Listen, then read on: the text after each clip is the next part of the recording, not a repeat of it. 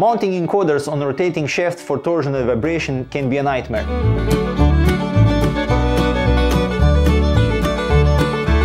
Strain gauges with slip rings might be a solution, but can be problematic to install and calibrate.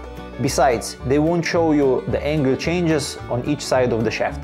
So make your workflow easier with Dewesoft Torsional Vibrations solution. In most applications, power from the source is transmitted over a drive shaft or a coupling to the load. These drive shafts experience extreme and sometimes uneven torques because the loads are not consistently linear. To prevent excessive bending or rotational vibrations that would result in damage or cause an unpleasant experience for the user during regular operation, torsional vibrations have to be taken in account.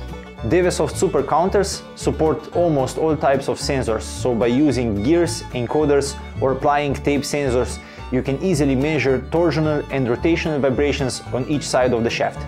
Torsional vibration measurement requires only two precise angle inputs connected to a counter or an analog input. They measure the exact angle over time of each rotation to determine the amount of torsion on a shaft. The exciting thing about this type of measurement is that it can be applied to different applications. In automotive development, from engines, cam and crankshafts, dual mass flywheels, gearboxes and all the way to the drive shafts. So how does this work in practice? We've attached two angle sensors to our demo kit and connected them to our counter inputs of the SIRIUS data acquisition device. To prepare for the measurement, there are only a few steps in the Dewesoft X software. You select the inputs that are used, define the types of chosen sensors and select the channels you want to output. Already in the setup mode, you can visualize the torsional angle so you can compensate for the vibrations present at low loads and thus negligible for the measurement. Now we are ready to start measuring. We have two rotors rotating at the same speed.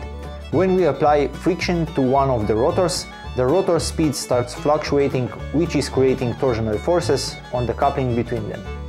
In the torsional vibrations predefined display, you can observe the rotational and torsional angles over each shaft rotation. Besides fluctuations of the RPMs over the time period, you can also see the FFT graph showing the rotational frequencies. If we decide to release the brake that is causing the friction, we can see that the torsional angle is reduced. All these functionalities in combination with order tracking provide a powerful tool for evaluation of run-ups, coast downs, natural frequencies and shaft resonances. In our case, the fluctuation was self-induced and visually apparent, in real life, problems like these originate from within the machine and are hard to see with the naked eye, but can have a massive impact on the performance of your machine.